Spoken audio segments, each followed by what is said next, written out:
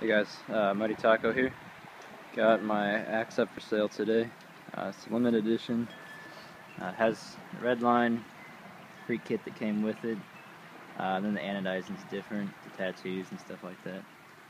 Um, anyway, you get everything that came with it. Uh, the freak inserts are brand new. I used uh, 687 out of the Freak kit I already had. So all the backs are brand new. Uh, parts box is untouched. Barrel bags brand new in the wrapper. Uh, got all the CDs, manuals, stuff like that. Full box.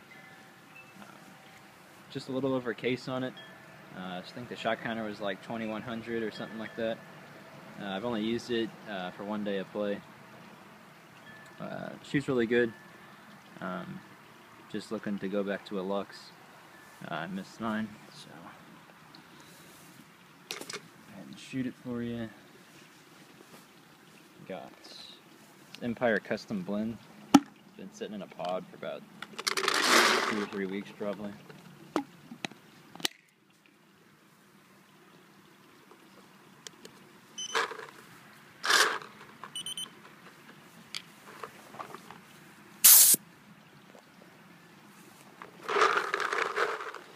It's on a uh, PSP.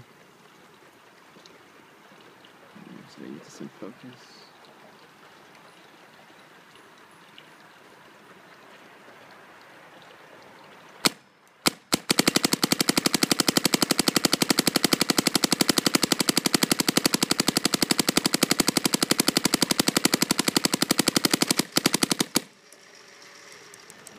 Yeah.